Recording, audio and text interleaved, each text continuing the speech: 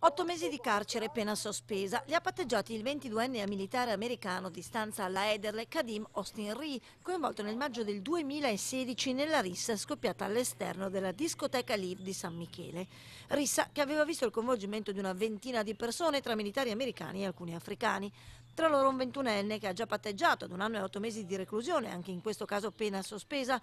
L'africano è considerato il responsabile del ferimento del 22enne statunitense, ricoverato al San Bassiano con ferite da arma da taglio.